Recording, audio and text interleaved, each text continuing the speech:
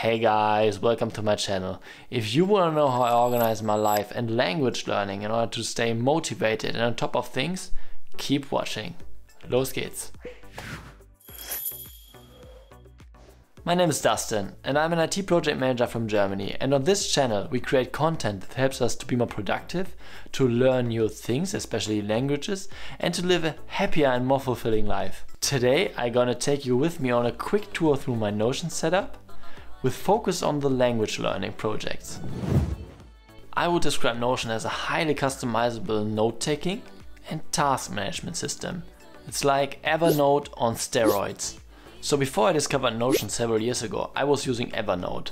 But Evernote doesn't have the capability to do a proper task management. This led to the problem that I couldn't align my vision with my goals and my tasks properly. Which means in essence, a lack of focus and manual work and this drove me crazy as a project manager. With Notion I could link everything together on a database level and it became easier to steer my work effectively. I started with a simple task database and my notes and from there on I adjusted everything fitting to my needs. Recently I did some major changes and aligned it a bit with what August Bradley does. He has extensive tutorials on his YouTube channel and you can find the link in the description below. So props to him for that. Okay, now enough of the theory. Let's have a look into my system. So this is the command center. Um, this is the entry page to the life operating system. And yes, you can see there's focus, dashboards and databases. The databases are actually the backend for the whole system here. So as you can see, there are pillars so this is uh, the structure, the areas of life around which you build everything. As you can see also here in the middle under dashboards. So um, we had that already in a previous video, but those are the different areas of my life where everything is centered around. Uh, with the three categories, growth, business, money, and home life and social. And then there are the pipelines. The pipelines are about uh, planning the uh, the work and about aligning everything with your vision. So it starts with a vision, then you have the smart goals under it, the projects, and then at the very end the action items. So then you have the vaults. The vaults are for gathering, aggregating, and using the knowledge you acquire. So we will have a look later also on the tag or knowledge DB um, and there's also notes, meetings and ideas, so which um, is another database. The media database, which contains all the consumed information. So if I watch a YouTube video or if I read a book or if I read an article, so everything goes in there and then I can tag it and uh, yeah, that it can be found again. And then there's the tools, skills and services database, which contains all the different software tools and all the different um, yeah, services that I use uh, for the different areas of life. So everything is interconnected. So now if you have a look at this page, you will clearly see that there are three main areas. The databases we just had, this is the whole backbone for the system. Then you have the focus area, which uh, shows everything that's needed for um, daily action taking as well as for aligning everything with your vision and goals and also the cyclic reviews on a daily, weekly, monthly and quarterly as well as yearly basis. Um, it depends. Uh, yeah, here you can see some, some notes you can take, um, the different uh, cycles, action items for today, um, the dashboards we already had and at the bottom there are two widgets, one about how the weather looks like and the other one about how time is running out um, on a yearly, monthly and live basis to remind yourself that time is precious and that you make the most of it. This is all about the command center. Next step for today will be to have a look into the learning and mind expansion dashboard. So this is the learning and mind expansion dashboard, which actually uses multiple databases to connect them with each other uh, it's mainly about two databases which are the most important in that regards. One is the Knowledge DB that contains all the different topics and subjects that I learn about and that I consume information. And then you have the media database that contains all the different things that I consume, more on that later. But on top you just see all the stuff that's linked to each other. Okay, so now let's have a look at the dashboard itself. So you have the knowledge sources on top. This is actually, or these are actually different dashboards for the media database. So for example, you can have a look. Those are the books that I consume.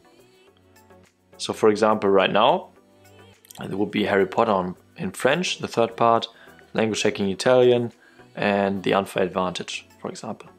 Um, as you can see here, there are more books waiting, and uh, here are also the books that I already completed. Like that, I am using the same database with different views to see the stuff that I consume. For example, here are the different articles that you can see here. Um, this is about videos and so on and so on. Courses, newsletter, podcasts, the notes and ideas, which that's actually a different database, and also quotes that I'm gathering here. And this is about uncategorized or no status, so everything that comes something new along my way, I will clip it with a Notion web clipper and uh, just save it in the media database. It will end up here and on a weekly basis I will review it and put it into the right, um, yeah, uh, tag it here and then it will automatically show in the right um, dashboard. Then there's knowledge aggregation. So this is about the different subjects that I created, the different topics that I created. So there are three different filters. One is about all topics, which contains all the different topics in life. As you can see here, so every time, time there comes a new topic around or uh, I come along, then I would create it here. And then I also have like hot topics. Those are the topics that are right now relevant in life. And yeah, those you can see then here. One of those topics is actually French. So let's have a look now at French to get a further understanding how that looks like. So I have of course the same for Italian and English, but now let's have a look at French. So there's the project, French fluency. For language learning I also just have one project, which is fluency. So French fluency, Italian fluency and so on. Could be for different project, uh, for, could be for a different subject, uh, multiple projects. But that's how it is here for overview reasons. You will see later why.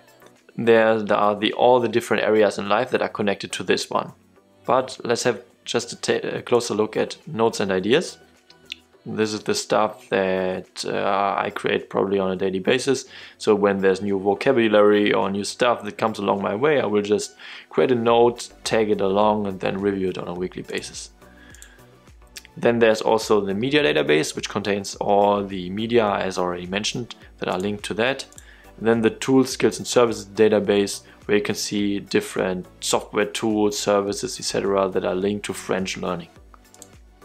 And then here you also see different stuff that I gathered about learning French, like different podcasts, for example, or um, I don't know, scripts that I used when I really was at the beginning to start a conversation and um, all those kind of things that I found along the way. So, um, yeah, the IPA and so on. So, all the nice stuff. Okay, now let's have a look at the project French Fluency. And at the top, you can see already there are les croissants. And this is a really important thing about learning French. You should also enjoy the culture and les croissants, bien sûr. Um, other than that, yeah, as you can see here, also this page, French Fluency, this project is interconnected to many other things. Um, it's sitting there at 83%. The percentage gets uh, calculated based on the action items and the goals that are behind that. So there's a formula behind that that calculates it. And yeah, this is pretty nice but since it's a language learning project, probably it will never reach the 100%, except if I would reach a level like C2, but yeah, that depends. And uh, for other projects, of course, it could reach 100%, but for language learning, it's a different thing. So, you, so it's not a real project, but uh, since the whole system is mm, built like that, I, I, I, call it a project. So to not confuse it. Um, also related to the vision and so on. And down here you can see why I want to learn this project, to increase my career capital and to be able to connect to more people, also to practice my mind, and uh, the different thoughts on French. And on the right, you can see the different goals, also with a progress bar. And uh, those goals will be constantly renewed and filled up. And I also did a video about that. Um, I'll probably link it somewhere here um, about goal setting and uh, how everything works around that. So language learning is a marathon. In order to become fluent in a language, you need to spend a lot of time with her you need to be consistent. So we need to make sure that we stack the decks in our favor to achieve that. Some mechanisms we can use for that are first, make progress or work visible. This is a practice from DevOps. Then secondly, have goals that are clearly defined. For example with a SMART pattern that I'd explained in a previous video. And third, use the tendency to collect stuff to your advantage. For example, collect goals and achievements you set yourself instead of physical goods or anything else. All this applies also to other projects and areas of life. So if you have other topics, other projects, you can also apply that to them. This is why language learning is a great tool to, to grow personally. So if you also want to build a system like that, I can highly recommend to you to visit the YouTube channel from August Bradley. Also, you can start smaller and not overcomplicate things. For example, you can just start with your notes and task management in Notion, like I did. In the end, it has to work for you and for nobody else, so make it fit your needs. Please let me know how you organize your language learning and if you use a tool like Notion or something else. And if you found this video useful, please leave me a like and a subscription to the channel in order to not miss anything going forward. Further, if you want to build up a consistent routine and the language learning habits in order to reach your goals, this video might be something for you. Thanks for watching and see you the next time.